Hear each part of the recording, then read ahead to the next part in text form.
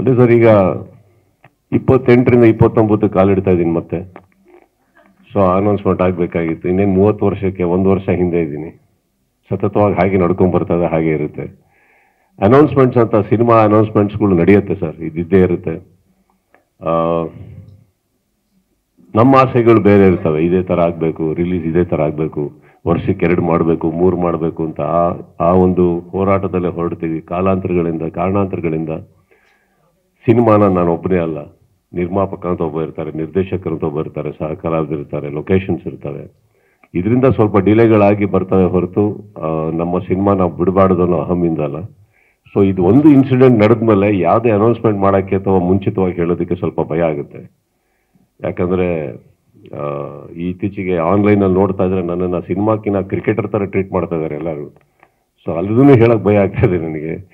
So announcements ಇದೆ sir. ಈ ಒಂದು ಎಕ್ಸ್ಪೀರಿಯನ್ಸ್ ಇಂದ ಅಂದ್ರೆ ಸತತವಾಗಿ ಇಷ್ಟು ವರ್ಷದಲ್ಲಿ ಒಂದೇ ಸಿನಿಮಾ ಮಾಡ್ಕೊಂಡ್ ಬಂದವ್ ನಾನು at a time but I think I will break that rule that one thing I will tell you that I will break that rule that I will not be doing one cinema at a time I might be doing two or three at a time depending on their schedules ಅವಾಗ ಏನಾಗುತ್ತೆ at least ಮಾರ್ಕೆಟಲ್ಲಿ ನಾವು ಸಿನಿಮಾಗಳು ಬರ್ತಾ ಇರ್ಬೋದು ಅನ್ನೋ ಒಂದು ಖುಷಿನೂ ಇರುತ್ತೆ. ಈ ಥರ ಮನೇಲಿ ಕೂತ್ಕೊಂಡು ಸುಮ್ಮನೆ ಕಾಲ ಕಳೆಯೋದು ಒಂದು ತಪ್ಪುತ್ತೆ ಸರ್.